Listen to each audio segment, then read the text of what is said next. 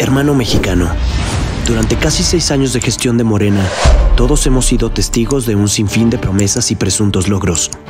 Acercándonos cada vez más a este final de sexenio, es momento de preguntarnos, La población desempleada ¿generaron más empleos? en el país. No. ¿Hay mejor educación? comunistas. No. ¿Mejoraron el sistema de salud? No. ¿Hay más seguridad?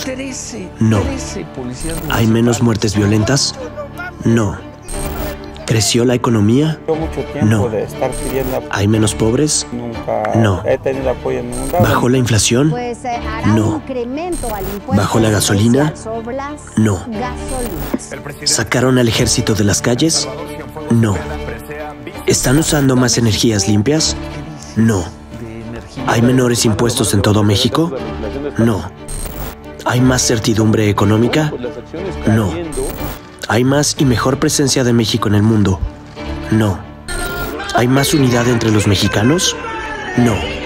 ¿Las tarifas eléctricas son más baratas? No. ¿El precio del gas es más barato? No. ¿Los miembros del gabinete son más capacitados para sus puestos? No. ¿Hay apoyo suficiente a pequeñas y microempresas? de 9 No. ¿Hay menos feminicidios? No. ¿Se acabó la corrupción? No. ¿Se acabó la mafia del poder? Los 12 amigos de No.